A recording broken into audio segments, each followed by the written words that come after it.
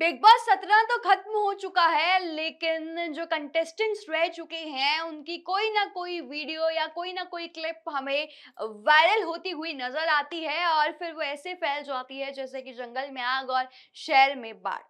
अब हुआ ये है कि जब से बिग बॉस सत्रह खत्म हुआ है तो कोई ना कोई कंटेस्टेंट किसी न किसी के बारे में कुछ ना कुछ कह रहा है एंड उसकी वीडियोस सोशल मीडिया पर वायरल हो रही है, जैसे कि अभी खानजादी की वीडियो वायरल हुई जब उनसे पूछा गया कि अभिषेक कुमार कैसे लगते हैं? तो उस पर खानजादी का रिएक्शन आया। कुछ लोगों को वो रिएक्शन अच्छा लगा तो कुछ लोगों को वो रिएक्शन अच्छा नहीं लगा।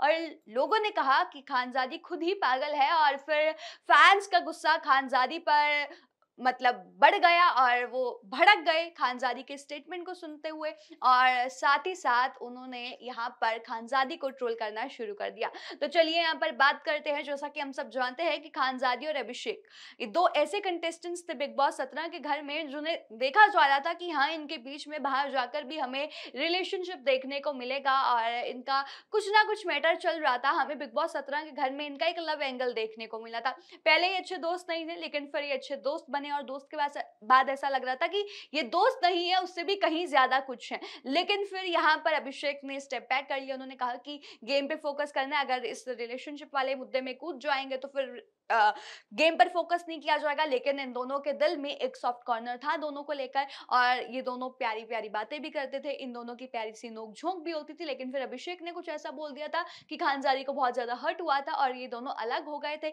लेकिन फिर बाद में देखने को मिला कि अभिषेक ने बहुत ज़्यादा सॉरी बोला और फिर यहाँ पर जो खानजादी थी, वो नहीं मानी।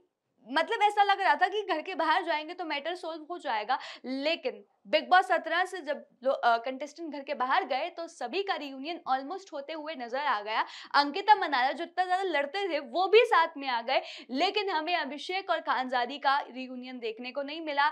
मच अवेटेड रियूनियन है और साथ ही साथ लोग यहाँ पर पागल हैं कि इन दोनों को साथ में देख देखना है देखना है, लेकिन यहाँ पर ये दोनों तो एक दूसरे से दूर होते हुए नज़र आ रहे हैं, क्योंकि इन दोनों ने खुद ही बोला है कि कॉम्प्लिकेटेड है। पहले भी एक इंटरव्यू वायरल हुआ था खानजादी का, जिसमें उन्होंने बोला था कि फैमिली मेरी वैसी नहीं है तो थोड़ी सी दिक्कत आ रही थी, इसलिए मैं भी अभिषेक के साथ इतना वो नहीं कर पा रही थी और ज़्यादा नहीं रह पा रही थी।